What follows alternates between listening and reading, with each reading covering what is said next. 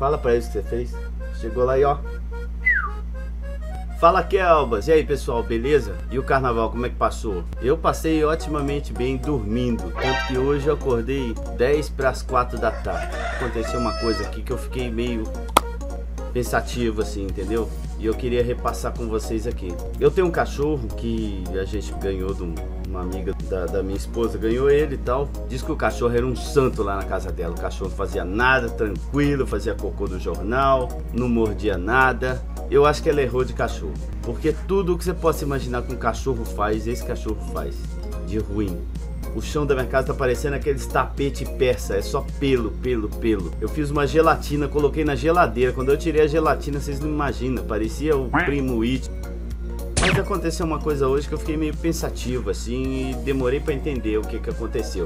Bom, acordei, fui tomar meu banho tal. Pro homem tomar banho não tem sabonete íntimo. A mesma bucha que lava as costas, pescoço, a bunda, o, o saculino é a mesma que você lava a cara e pronto, tá legal. Pra nós não tem esses problemas não. Mas eu acabei de tomar banho, fui pro quarto. Quando eu cheguei lá no quarto para trocar de roupa, tal, joguei a toalha em cima da cama. Quando eu olho para trás, eu vejo lá o Birutinho, meu cachorro. Ele tava deitado lá, tranquilinho. Quando ele viu que eu cheguei, que eu joguei a toalha, ele fez assim, ó. Eu já achei meio estranho. Falei, esse cachorro vai ficar me encarando agora pelado, pô. Mas tudo bem, é um cachorro, né? Aí abri a gaveta, comecei a tirar as roupas ali e tal para eu poder vestir, escolhendo o que, que eu ia vestir. Caiu a bermuda no chão. Eu completamente peladão, simplesmente abaixei para poder pegar a, a, bermuda que caiu no chão. Quando eu olho para trás, naquela posição cavalística, sabe? Eu olho para trás, completamente desprovido de nada protegendo ali, sabe? O cachorro simplesmente levantou, foi lá e me deu uma patada, sabe, entre a, entre a flauta e o escapamento, sabe onde tem a solda elétrica?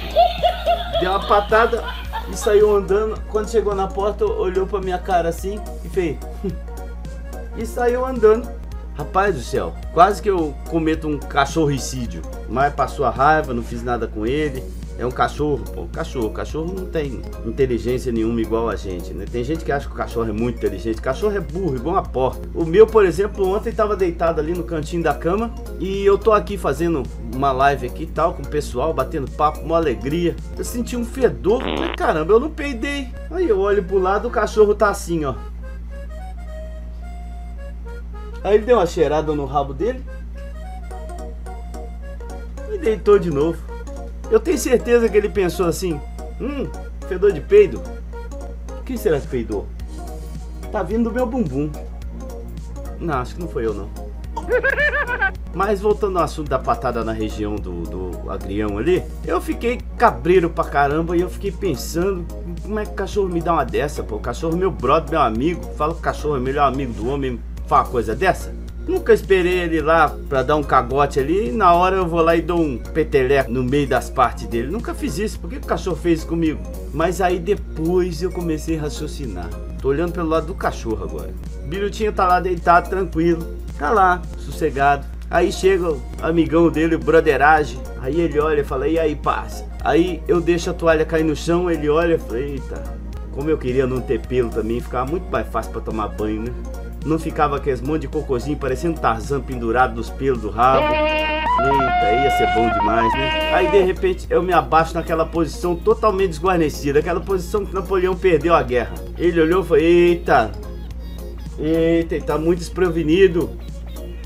Pera aí, deixa eu dar um toque nele. Foi lá, fecha isso aí, pô. Nessa hora eu comecei a pensar, pô, o bicho é brother mesmo. Não sei, só sei que foi assim. Isso é só para dar um alerta para vocês aí, que às vezes olha as atitudes do cachorro e não para para pensar. Então começa a olhar pelo lado do cachorro, entendeu? E tá aqui humilhante. Fala para eles o que você fez. Chegou lá e ó. Da próxima vez você tenta dar só um latido, não precisa ir lá e meter a mão nas minhas partes baixas. Quase você acertou minha flauta. Já pensou? Como é que eu ia tocar o hino nacional sem flauta? Esqueceu que essas pontinhas bonitinhas sua tem umas unhas afiadas? Fala tchau pessoal agora. Até mais. Ai, para de morrer. Ai, ai. Ai.